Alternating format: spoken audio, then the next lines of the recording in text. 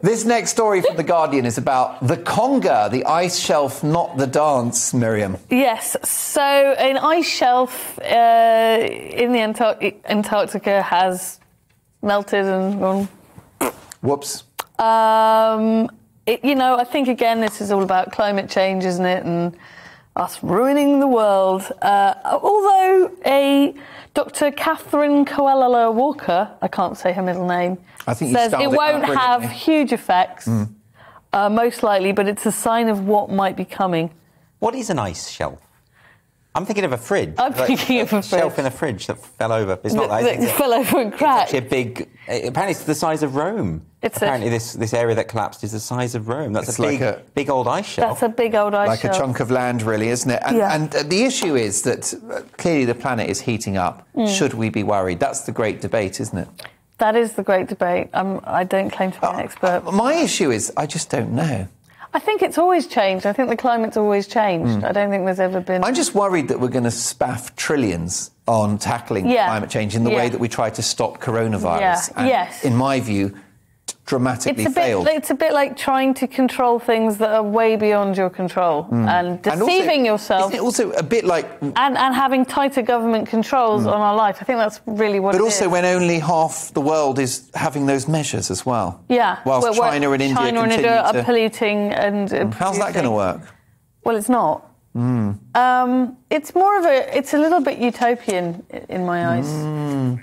Uh, and it, and it, Andrew, do you care to offer any balance in this uh, climate-denying chat we're having? I mean, no, but the, po- the point you're making. oh, that's it, done I mean, it. it's not quite what you're How doing, dare you it? question the orthodoxy, Miriam? Exactly. But aren't you saying more that you know we can lower our collective national carbon footprint, etc. But while China and, and these vast states have absolutely no regard for doing that, it is going to be just a drop in the ocean. It's not Yes. really going to do much. Yeah, exactly. Yeah. It's, it is quite important, though, with this article, I think, to remember that, you know, as you say, the experts saying this isn't going to have a massive effect. This No. is a, there was a few. Well, that's what they said at the beginning of coronavirus, but no one paid any attention. Do you think you raise an interesting point there? Do you think that credibility in what the media has to say about climate change has now been diminished because of what we've seen in the pandemic, where we were told this was the bubonic Well, plague? there's just a complete lack of, of nuance or discussion where you hear multiple scientists talking about climate change. Everything becomes an orthodoxy Hmm. that is unchallengeable and, and drives government policy. Um, and I don't think that that's right or true. In fact, that, that kind of leads us down quite a dark path.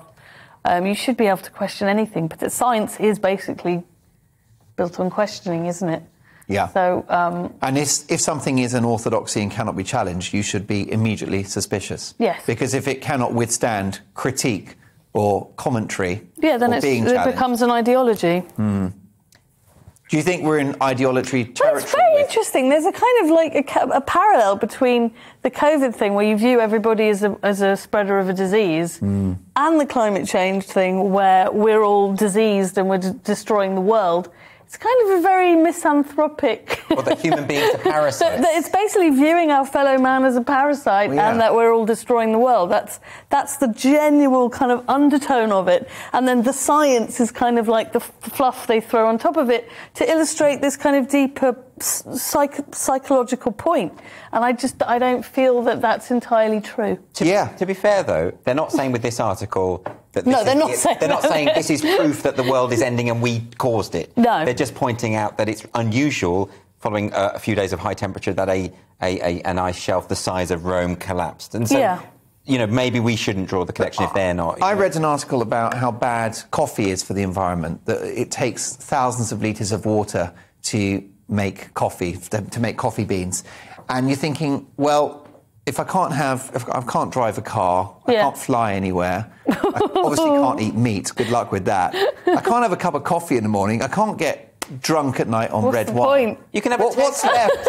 You can have a Tesla and you can have a Pimm's. Oh, no, you can't I? have Pimm's. No, No, probably I don't not. think so. Not in the morning. Good luck with that. Well, look, that one will run and run. It's a fascinating conversation.